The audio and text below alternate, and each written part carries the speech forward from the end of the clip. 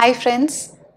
I was working with a parent today and um, I asked her about what are the exercises that she's following up at home and she mentioned all the exercises that she was doing. Then I spoke about the self-help skills, which I really, really emphasize in most of the kids. I, so I spoke about the child's eating, if he can eat on his own, if he can wear his clothes on his own, if he can, uh, you know, wash his hands on his own, if he can brush his teeth on his own, if he can go to the toilet and wash himself after the big job on his own. So she was working on each of those factors and he was coming a long way. So today was a follow-up session and I asked the parent if he can now eat on his own. And she said, yes, breakfast he can eat on his own, but for lunch he needs prompts. And then I said, what kind of prompts does he need? She said, I have to teach my son how to mix the rice and the dal together. And uh, I said, don't you eat also with your child? She said, no, no, I feed my child. And once he's done, then I start eating which is what was very good. But I told the parent that now he is able to do it. If you sit with the child and if you eat along, the child sees you and he learns from you how to eat on his own you know so it's very important that you are modeling it for the child everything is not prompted he sees and he learns and I give opportunities to the child to see that there is a role model. I asked her, don't you and your husband sit and eat one meal together? And she said, no, no, no, we have different timings and we eat at different timings. We feel, we feed our child first and then we eat as and when, you know, we have the time and i was shocked. I was like how would he learn then to eat on his own you know? And how would he learn how we are supposed to eat? Because he has to look at someone only then he would learn how to eat. So that made me realize that sometimes we're just prompting our kids and we're not sitting with a child to eat. So it's very important that we are modeling that behavior for a child. Then i moved further and asked her more questions. And i asked her i had told her to take her son out every day for outdoor play for an hour every day if possible. She was taking her son, but her son wanted to go to that same place every day, do the same things every day. And if there was a slight change, he would have a tantrum or he would have a meltdown. And she continued doing so because she thought outdoor play is more important. It is okay if he wants to do the same thing every day. So I had to again help her to understand that it is not the same thing every day. She has to go to different places. Maybe someday she just takes him with uh, him to the market with her and even that he should be okay about. But she said, no, he's not comfortable at such places. And uh, I said, all the more reason why he should go to such places because that's how he learns to adapt and that's how he learns to be in different situations and he learns to be comfortable. And she said, you know, but what happens is actually full day he is in therapies and then I'm doing therapies with him and there isn't much time left for us to do anything else with him.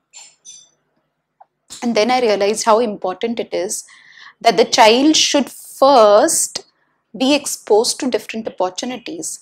I asked if there are play dates and if the child gets to be with other kids.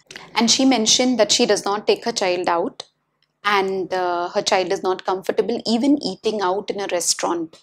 So eating out is not so important, but going out, you know, and getting those kinds of opportunities to be with others, to be with other people is very important.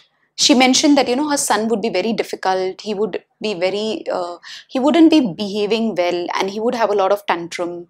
And that's why she avoids going out. But, you know, that's how all of us start and uh, I remember one more parent who came to me and he wouldn't take her his son to any birthday party because he said he would touch the cake, my son would take the gifts, my son would start shouting, my son wouldn't know how to behave. And I said, all the more reason why you take and you teach the child how is he supposed to behave at such a birthday party.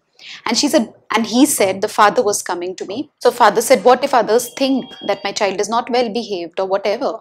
And I said, that's how all child, all children learn. You know, they go, they have that kind of a behavior, and then they learn to regulate themselves. The point that I'm trying to make while making this video is, if I'm doing therapies with this child, and if this child is improving and if he's learning to speak learning to interact learning to communicate then he has to use those skills somewhere. And we use our skills in a school. Children would use them in a school or children would use them out with other kids where they are with other kids playing with them. And if those opportunities are not given for the fear that they may not adapt and they may have a problem then they will never learn. They you know i know of parents who go down with their kids and they're there all the time to see that if the child is able to regulate themselves. And if the child is not able to regulate they come they help and then they are out again. So we may have to do a lot of these things but what i'm trying to emphasize is giving them opportunities is extremely important to be out. And if you're feeling that you're doing a lot of therapies and that's taking away all the time and you don't have much time left to work on these skills, then I think therapies need to be cut short. You know, you need to balance your time. To this particular mother, I said, do therapies just one hour a day, but ensure that at least two hours he's out with kids of his age. He does parallel play, even that is okay. Even if he's with kids sitting next to them, not playing with them, but he's with them, that is more important. I asked them if it was possible to seek connection, to have people who could be of help to the parent.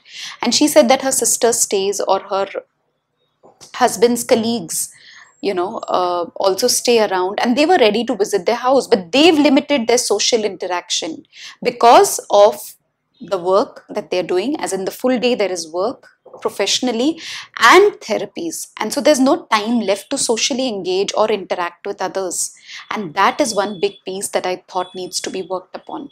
So i just wanted to make this video to emphasize that it's very important that we do therapies with our kids in a therapy center or at home but we balance it with equal opportunities for the child to be with other kids for the child to be out in the nature and at different places to be comfortable going to a restaurant, be comfortable going to a playground, be comfortable going to a market, be comfortable traveling in a bus, be comfortable traveling in a train, be comfortable traveling in an auto, be comfortable traveling by bike, anything. And all of that would develop only when I take my child along with me. Be comfortable in a, even in a birthday party, be comfortable for a wedding be comfortable for an engagement ceremony, be comfortable in a mall, be comfortable at a doctor's office, any place. Only when I take my child there, that's when my child learns. He may get dysregulated, that's all. I get him back home. I again take him, he may get dysregulated after five minutes and then I take him back home. But eventually, if I continue doing this, my child learns to adapt so what I'm trying to only convey is that just because the child has a, some kind of a diagnosis, it does not mean we do only therapies at home and we limit our own social circle. You know, it's important that we open up a social circle and we we be with others. We give that opportunity to the child to be with others and to become more comfortable in different situations, with different people, and uh, in different environments. I hope this tip was helpful. Thank you.